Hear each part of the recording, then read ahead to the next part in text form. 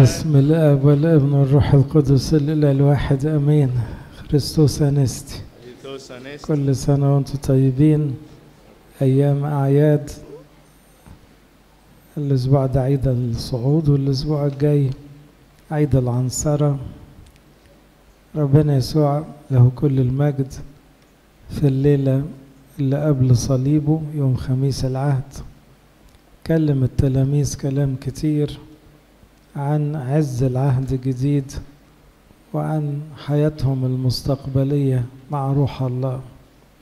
عشان كده الكنيسة بتسمي الإصحاحات من أول يوحنا 13 إصحاحات الباراكليت لأنه 13 14 15 16 17 يعني ربع إنجيل يوحنا كله هو حديث المسيح يوم خميس العهد ويغلب عليه الكلام عن الروح القدس. فده أكبر جزء في الكتاب عن سر الروح القدس وعمل الروح القدس في الكنيسة وعز الحياة بالروح القدس. لدرجة ربنا يسوع له المجد ربطوا بأن هو ده مصدر السلام في الوقت اللي قال لما يجي الروح القدس يعلمكم كل شيء قال على طول سلاما أترك لكم. فإذا كان ترك لنا روحه القدوس هو ترك لنا سلامه السماوي عشان كده الامتلاء بالروح القدس أول علامة فيه إن قلبك يبقى مليان سلام. لا تضطرب قلوبكم. لما تلاقي نفسك مضطرب ده مش لأن الدنيا مليانة مشاكل لا هو لأنك أنت مش شبعان. شعلة الروح القدس اللي في القلب مش كفاية. عشان كده الكتاب يقول إيه؟ لا تطفئوا الروح. ومرة تاني يقول لا تقاوموا الروح. مرة تالتة يقول لا تحزنوا الروح. فاللي بيقف ضد الروح القدس بقصد أو من غير قصد بقصد ده واحد رافض الإيمان ورافض التوبة بعند.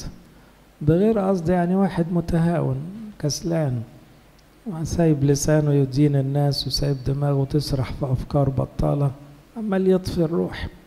فتلاقوه عصبي وما عندوش سلام وخايف وقلقان مفيش حاجة ماشية طبيعي.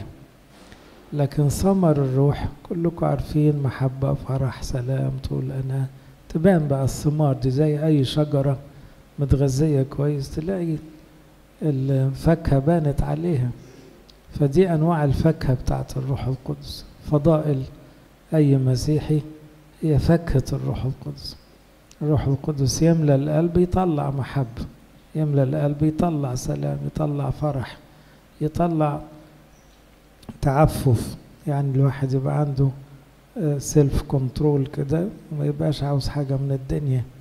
يطلع ثقة إيمان فيبقى مطمن ومتأكد إن ربنا مش هيسيبه.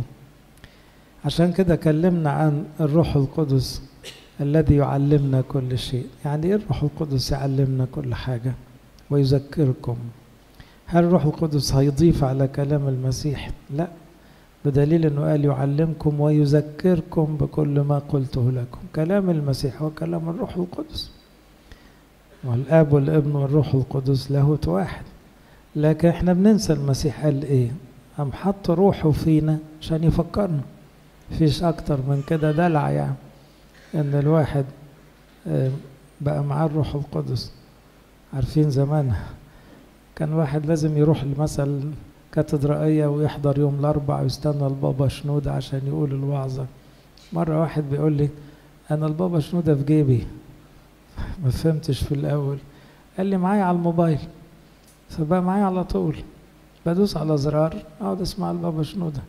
لكن من 30 40 سنة لا كان لازم تروح وتقعد وتستنى وتسمع. فكأنه نقلة الروح القدس معناه ربنا يسوع نفسه بقى جوانا بروحه. فأنت مش هتروح مسافة يعني عشان تسمع صوت ربنا. لا ده الحكاية بقت سهلة. الله سكن فينا بروحه وده امتياز العهد الجديد. لكن الروح القدس لا يكلم إلا المتواضعين.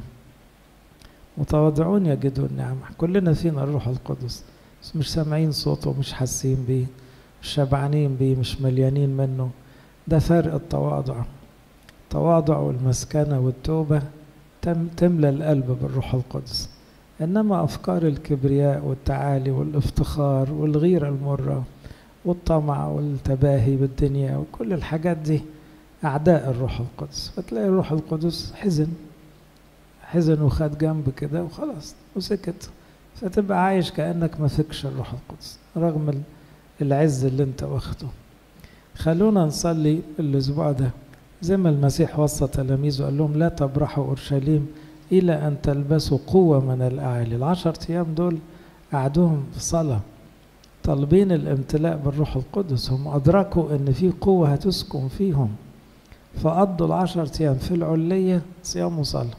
كنيسة لقت أنه لا نأجل الصيام عشان تفضل الأيام أعياد لكن ما نأجلش الصلاة.